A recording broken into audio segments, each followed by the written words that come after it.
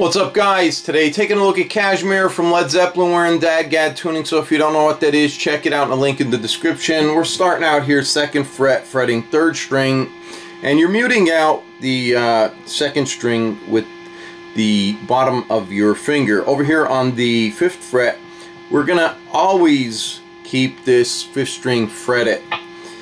So it's gonna be a down up down strum through 5 to 3 then you're going to hit the open sixth once and then we're going to move down and fret third string third fret and you're going to do that same down up down but you're going to mute it and then repeat it.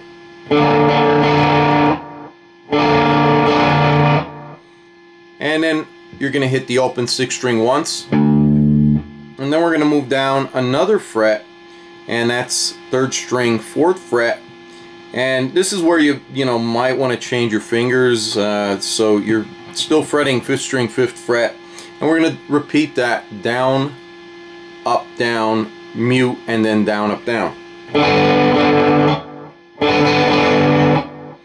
And then you're going to hit the open sixth string. Then we come down here and you're still fretting fifth string fifth fret but you're fretting third string on the fifth fret also and then you're gonna do that down up down strum mute it and then do it again. Then you hit the open sixth string.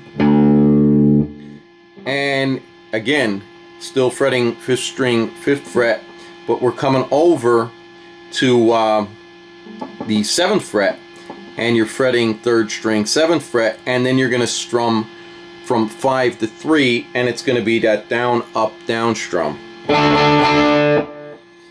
So that's the main riff, and then uh, we come down here 12th fret, and we're fretting first string 12th fret, third string 12th fret, not muting this second string, and we're going to strum the open fourth down to the first,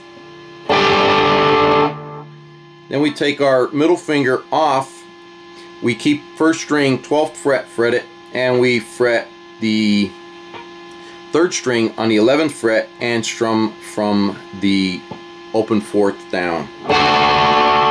So you just got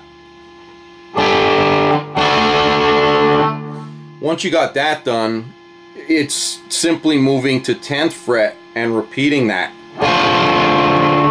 and you'll take that off and then fret third string ninth fret and then we'll move up to the seventh and do the same thing.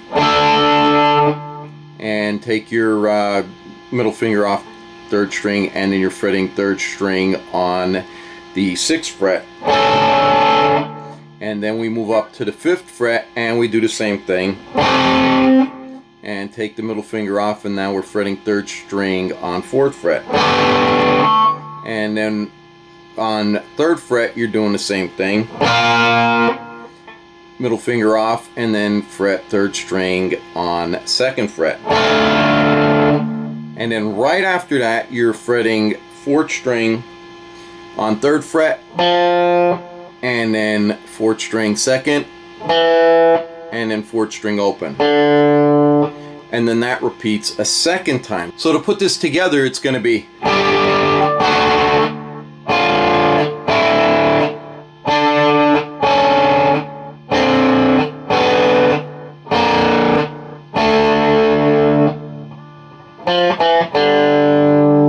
and then it goes right back into that.